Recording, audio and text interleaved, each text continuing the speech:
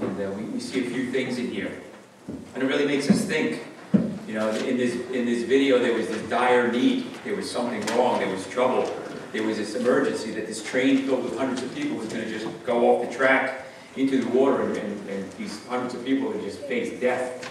Um, and with this, we see the son, right? He's there fishing. The son springs into action, and he's willing to risk his life, sacrificing it for others. And then we see the father, who deeply loves his son. Uh, he too, regardless of this love he has for his son, lowers the track and he sacrifices his own beloved son so the people on the train could live. And although it's imperfect because it's a parable and it's, it's something on earth and human, it gives us a glimpse, a picture of the love that the Father and the Son have toward us. You know, isn't this what Jesus did? He laid down his life for us. He took the punishment for our sins upon himself. He took the wrath of God upon himself. Uh, he paid a debt we cannot pay so that we could live. Isn't this Jesus facing agony of the cross? He said, Father, if it is your will, take this cup from me. Nevertheless, not my will, but yours be done. Isn't this just a picture of Jesus and what he did for us? Isn't this a picture of our Heavenly Father uh, carrying out John 3.16, that most famous verse we read before, which says, For God so loved the world that he gave his only begotten Son, that whoever believes in him will not perish but have everlasting life. Christ had to die.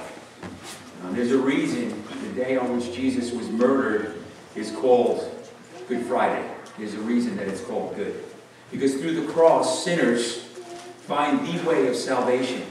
Through belief in Jesus and his work on the cross, we find the only way of salvation. The only way to be cleansed from our sins, the only way to escape hell, the only way to be accepted into heaven by the Father. Jesus says in John 14, 6, I am the way, the truth, and the life. No one comes to the Father except through me. And this video is a small picture of the incredible love of God. The love spoken about in Romans 5, 8, another verse we read, which says, But God demonstrates his own love toward us, that while we were still sinners, Christ died for us. At the cross, we find the perfect love of God poured out onto the lap of humanity. It's an incredible work. But with that, we see something else in this video parable. And, you know, what are the people on this train doing in regard to this incredible sacrifice? And for the most part, nothing. They're carrying on. They're distracted. And that is sadly the story, um, you know, when it comes to the greatest sacrifice ever. Although people know about it. People on that train didn't know. Um, but you know, what, what, do people normally do when, when, they think about Christ and what he did? Often, sadly, it's nothing. And especially here in America, where we're so blessed as the greatest country in the world, we have so many things. We're just so distracted.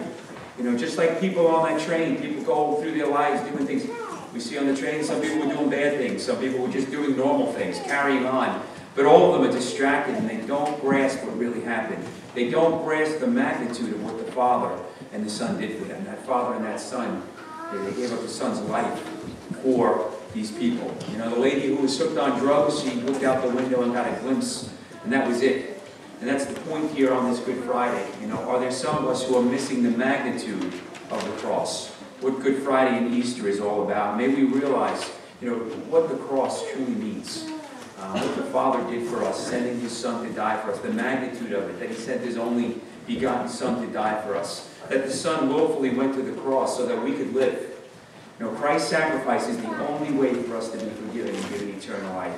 That father again in that video had to sacrifice his son. He had no other choice there uh, for, in a way that the people on the train could live. And you know, that is what God did for us. And you know, what amazing love as we think of this as it's Good Friday. What, a, what amazing love God has toward us. What an amazing sacrifice and what an incredible God we serve, who loved the world so much that he gave his only begotten Son, that whoever believes in him will be saved from the clutches of hell and instead be given eternal life with him forever.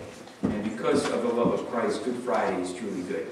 It is the greatest sacrifice, it's the greatest victory, it's the greatest love. And may none of us uh, let the magnitude of this uh, pass us by this day.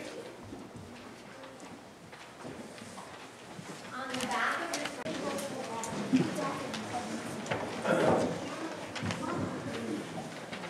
Okay, I got a uh, couple readings for you guys. The first one is from Matthew chapter 27, verse uh, 27 through 31. Some, some of the governors soldiers took Jesus into their headquarters and called out the entire regiment. They stripped him and put a scarlet robe on him. They wove thorn branches into a crown and put it on his head. And they placed a reed stick in his right hand as a scepter. Then they knelt before him in mockery and taunted, Hail, King of the Jews! And they spit on him and grabbed a stick and struck him on the head with it. When they were finally tired of mocking him, they took off the robe and put his clothes on him again. Then they led him away to be crucified.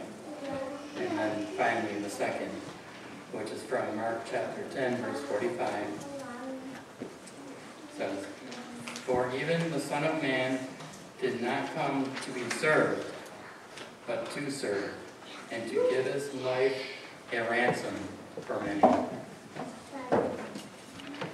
It just it is amazing what God can do. He came and died for our sins. He gives us eternal life, but that life starts now when we put our trust in Him, and there's nothing too hard for Him. Um, uh, we have refreshments downstairs for any who want to stick around. You're welcome to stay. So hope you can hang out for a while. Also, um, Easter. After Easter, we're having a potluck. Um, everybody's welcome. If you, what are you supposed to bring? There's some type of guidelines for something. You could bring a warmed crock pot because no one's going to be downstairs warming food up. So you can bring something warm, and, or you can bring something cold, or you can bring a dessert. Or you can bring nothing. Or you can bring Um, 'cause nothing. There's always plenty of food, so if you want to come, don't worry, we're not, there's no checklist. Just come if you want to come hang out with us. And that Sunday, service is, starts at 11, so uh, let's pray. Lord, we thank you. Lord, I thank you for each and every person who came here tonight. Lord, we, I just pray your hand of blessing on each one. And uh, Lord, thank you, God. Thank you, Lord, that we are all created in your image. Lord, uh, we are fearfully and wonderfully made. Each one of us, Lord. You went to the cross uh, for a purpose, Lord. Um, you shed your blood and uh, all those things about Good Friday, taking the sins, the wrath of God upon yourself. You did that for each one of us, Lord. And God, I just pray you'd work in each, each heart here, Lord. I pray if there are any here who don't know you, Lord, I just pray, God, that you would open their heart, Lord, and pray that they would yield to you. And uh, Lord, we just thank you. We thank you for Good Friday. We thank you as believers. We can look at a day in which you were murdered and we can see the good in it, and the greatest good of all. That although we were sinners, yet you died for us. And now, Lord, Lord, be with us as we go from this place, Lord. Again, may you bless each one here. Uh, families, Lord, during this weekend. Some will be traveling. I pray you would watch over them, Lord, and be with them. And God, may all of us just sense your mighty presence and uh, just uh, get a, grasp of uh, the importance of what this weekend means, what you did at Calvary those 2,000 years ago. How you died on the cross for our sins and rose from the grave. And we give you all the glory. In your name we pray. Amen. Amen. Okay, thank you.